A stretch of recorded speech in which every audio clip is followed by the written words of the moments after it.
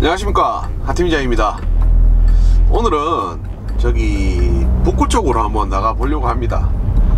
건물이 가진 특성도 괜찮고요.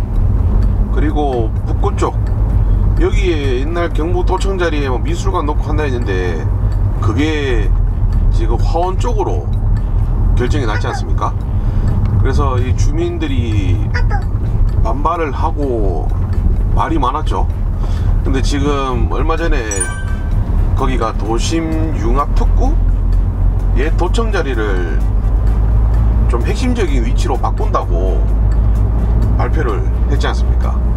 그래서 그런 장점들도 있고 그리고 뭐 수익이라든지 건물 가진 부분이라든지 괜찮아서 한번 소개시켜 봐 드리려고 이제 가고 있어요. 그리고 오늘 또 참 안타까운 뉴스를 하나 봤죠? 이번에는 동탄에서 터졌다.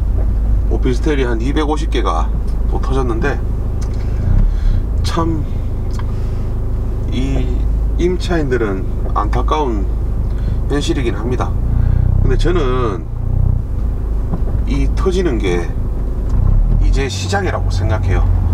앞으로 올해 말쯤 되면은 정말 더 나오지 않을까 싶습니다. 그리고 또 한편으로 걱정인 게 이런 뉴스 기사들이 나오면 이 불안감 조성이지 않습니까? 이 불안감 조성 때문에 정말 정상적이고 착한 임대인들도 피해가 올 수 있다는 게 참 그런 점들은 또 아쉽게 생각이 들어요. 뉴스로 계속 뭐 전세 터졌다, 전세 사기, 그리고 뭐 안타까운 사연들 많이 나오고 있는데 물론 그런 게 정말 안타까운 현실이긴 합니다만 이런 거를 기사화해서 이런 시장 자체에 불안감 조성이 형성되는 자체가 걱정스럽더라고요. 우리 뭐 국토부 장관님이 또 알아서 좀 잘 정리를 해주지 않겠습니까? 자 그런 내용도 그런 내용이고 오늘 건물은 또 오늘 건물이고 제 업은 업이니까 현장에 가서 한번 보여드릴게요. 건물 가진 내용도 괜찮으니까 오늘 영상 보시는 시간도 괜찮으실 것 같습니다. 현장으로 넘어가겠습니다. 자 오늘 소개시켜드릴 건물 현장에 나왔습니다. 여기가 어디냐면 어, 경북 현재 도청 자리죠 그 뒤편에 이제 실내 체육관 있지 않습니까? 그 실내 체육관에서 밑으로 내려오면 복현 호골이 가는 길목에 나와 있습니다 여기 주변에는 상격동이 생겨나면서 이쪽으로 상가주택, 상업시설들이 예전에 이쪽에 다 밀집이 되어 있었어요. 근데 이런 어, 도심이 확장이 되고 상권이 이동을 하면서 점점점 주변 상권으로 번져나갔는데요. 오늘은 예전에 이렇게 상가주택 형성이 되어 있는 이 도로변 20m 도로변 접하고 있는 바로 이 매물 소개시켜 드리려고 왔습니다 현재 이 매물 어, 주인분이 그래도 뭐 여유가 있으신지 대출 부분에 대한 부분도 상담도 하셨고 건물의 수익을 잘 받고 계시는데요. 이 건물 내용부터 제가 먼저 설명을 드릴게요. 상가 하나와 원룸 두개 투룸 두개 쓰리룸 두개 주인 세대 총 8가구입니다. 대지는 176제곱미터 건물은 309제곱미터. 대지 구평수 환산 시 53.3평 건물 94평입니다 17년 7월 19일 날 준공이 났는 건물이고요. 현재 건물 매매가 11억 8천. 대출은 다 상환을 했다고 합니다. 임대 보증금 전부 다 월세 받고 계십니다. 5천만 원 있고요. 현재 인수가 11억 3천입니다. 건물에 나오는 수익은 435만 원 현재 나오고 있는 상태이고요. 이분이 현재 건물 인수하실 때 대출을 5억 5억을 쓰고 계셨다고 하시더라고요. 예를 들어 건물에 대출 5억을 받으신다고 하시면 현재 인수가 6억 3천에 이자 6% 제하고 월 185만원 수익이 나오는 건물입니다. 자, 건물 내용은 이렇고요. 현재 이 상격동 이쪽에 여기는 도로가 반듯하지만 뒤쪽에는 도로 정비가 안 되어 있습니다. 개발이 시급한 위치이고요. 그리고 경북 도청 도청 자리를 지금 윤석열 정부에서 약 1조 넘게 투자를 해서 도심 융합 특구로 개발을 진행을 한다고 이야기하고 발표를 했지 않습니까 그 뒤쪽에 상격지구 통개발까지 같이 지금 계획을 하고 있다고 하는데 그러면 이 상격동 동네 분위기는 좀 더 밝아지지 않을까 싶고요. 일단 건물 내부로 들어가서 내용 한번 살펴보겠습니다. 자 건너편으로 넘어왔고요. 1층에는 여기 인테리어 사무실이 하나 들어가 있고요. 그리고 건물 진입하는 현관은 바로 여기 상가 뒤편에 위치해 있는데요. 1층에는 상가 하나 그리고 나머지는 원룸 투룸 주인 세대로 구성이 되어 있는데 건물 내부 들어왔습니다. 건물이 지어진 지는 2017년도니까 약 6년 정도 되었죠. 그리고 여기 주임대 수요자들은 여기 인근에 또 경북대학교가 인접해 있고 주변에 이런 상업시설들이 잘 되어 있기 때문에 여기 다니는 직장인 수요가 참 많은 입지고요. 그리고 전자관, 전자관 이제 검단공단 쪽 그쪽에 직장인 분들이 이쪽 임대 수요자라고 보시면 되겠습니다.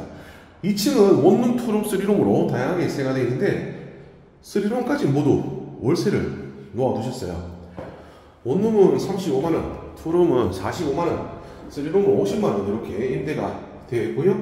2층하고 3층하고 임대 내역도 거의 비슷합니다. 똑같이 보증금들은 다 500만 원씩 받아 두셨고요. 그리고 제리의 주인 세대 이 또한 현재 주인분이 월세로 놓아 두셨어요. 월세 이렇게 100만 원 받고 계시고요. 주인 세대 세입자 현재 거주 중에 있습니다. 자 건물은 보고 내려왔고요.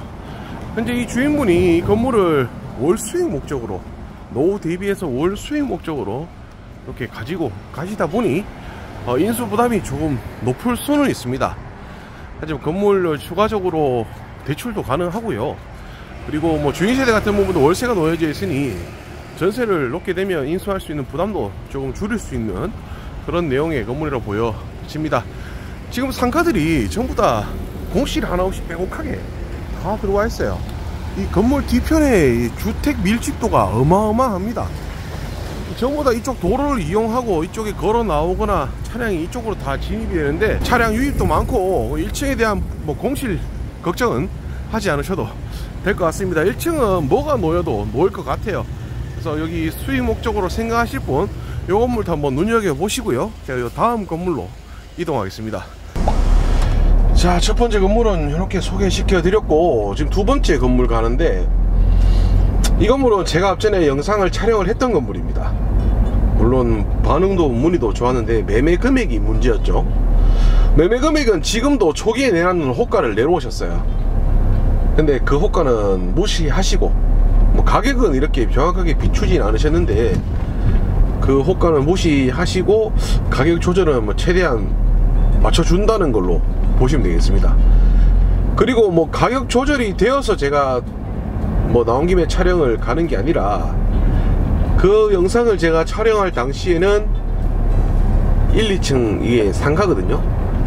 이 상가가 공실이었는데 지금은 요 복현 상격동 이 인근에서 뭐 꽤나 유명한 카페가 브런치 카페가 임차가 되었다고 합니다. 내 건물에 정말 좀 큼직하고 예쁜 카페가 들어와 있으면 건물도 살고 그리고 주변에 보여지는 시각적으로도 굉장히 좋거든요. 이런 건물에 내가 좀 이런 건물에 내가 주인이면 어떨까 라고 한번 상상을 해 보시면서 다음 건물 보시면 좋을 것 같아요. 그리고 제가 영상에서도 말씀드렸다시피 여기가 또 여기 생겨나는 곳이지 않습니까? 그런 점은 플러스 알파로 가지고 간다 생각하시고 다음 건물로 가보시죠 현장에서 인사드리겠습니다. 저 건물 현장에 나왔습니다. 바로 앞에 보이는 게 이제 복현 고가차도죠. 고가차도 앞쪽으로 이제 복현역이 이제 생겨나는 곳이고요. 1층 2층 상가이고요. 3, 4, 5층은 주택으로 이제 구성이 되어 있는데 1, 어, 2층은 브런치 카페 임차가 되었고